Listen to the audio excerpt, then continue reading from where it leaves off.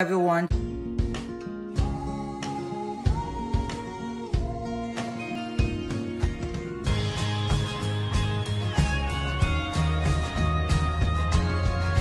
everyone so this is just a quick little video i just wanted to show you all my beautiful garden produce what i got out of my garden this morning so like i did a video way back you know if you have a land your backyard use it this is organic cucumber look how delicious it looks i went ahead and cut it to show you all Look at it. You cannot beat this, all right?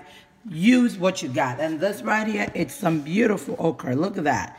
Organic, beautiful okra. You can make okra stew out of this. You can make fried okra, you name it. You just can do whatever you want with it. So this is just a little encouragement to let y'all know if you have a backyard or if you have a pot, just use it.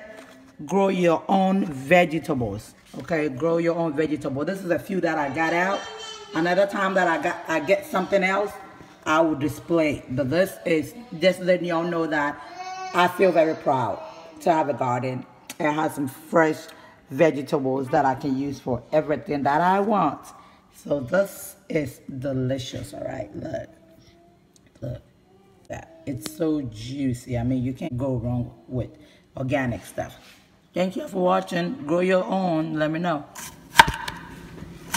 All right. So that's what I do. The kids use this for snacks as well. So this is all nicely freshly cut. They normally will eat this with ranch. So I'm just gonna, they actually had some of this earlier. We're just gonna plate it. They've got a little ranch on the side. I'm gonna take it let them eat this for y'all. They'll tell you if it's good or what.